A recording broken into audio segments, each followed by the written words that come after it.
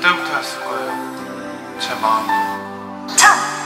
사랑하는 사람도 생겼다.